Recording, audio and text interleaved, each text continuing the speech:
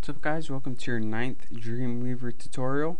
And in this tutorial I'm going to be going over one of the most important things that we can learn in website development for beginners and that's the use of tables. Now before we could use tables the layout of our website was kind of crappy and we can only do a limited number of things with it. But tables give us a whole new way that we can lay out our website. So to do this, I'm just going to go ahead and explain how to insert a table first. To insert a table, you want to go up to Insert, and who would have guessed it, go to Table. Now, when you open it, you'll see a bunch of stuff that you don't really know what it does. What rows in the table are, are the area that go left to right. So the mo more rows you have, the higher from top to bottom that your table is going to be. The columns, of course, go up to down, or top to bottom. So the more columns you have, the wider your table is going to be. So we'll just leave this at three rows and two columns for right now. And the table width is the width it is in pixels but we can change that very easy later. Now if you've never been familiar with these terms cell padding and cell spacing, what cell padding is is how much space is between the content inside inside of your cells, which is each part of the table, and the outside of that border. So if you have a lot of cell spacing, then there's going to be a lot of space between the words or images and the sides of your cell. Now what cell spacing is, is how much space is between each individual cell. So for the most part, you're just going to want to leave these just like default, just like this. So once you have that all set, you can just go ahead and click OK. And as you can see, we have a table made with three rows, left to right, and two columns that go up and down. And as you can see, it's 200 pixels wide. So, as you can see, you can insert text in the table and you can format it a lot easier. And you can get a lot better layout than you could without a table.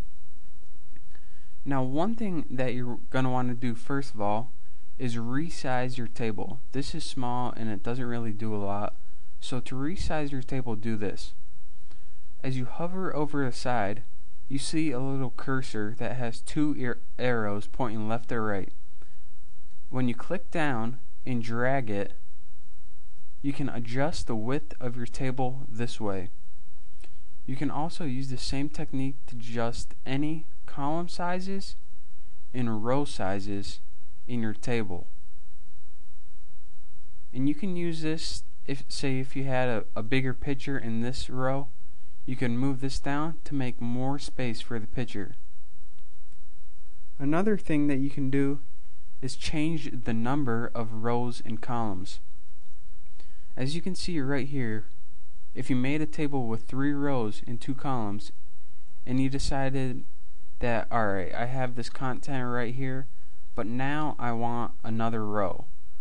So what do I have to do? Delete this whole table and make another row? No.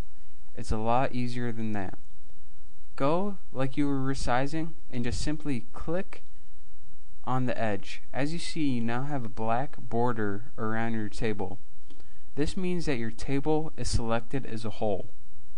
Now if you go down here, you can change the rows and column numbers without messing up any of the data that you already made. So see, we have three rows right now. If you want four, just simply type it to four. And now our table has four rows and we didn't mess up any of the data.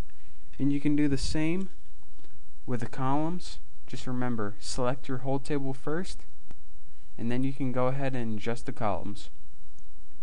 And one last thing that I think is probably the most useful thing you guys are probably going to want this in the center of your page, this whole table.